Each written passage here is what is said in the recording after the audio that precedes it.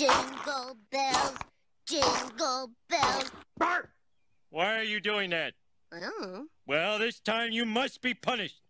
well, you could punish me, but No tricks, boy. I said I'm gonna punish you, and come hell or high water, I. Wait a minute. Ice cream truck! Ah!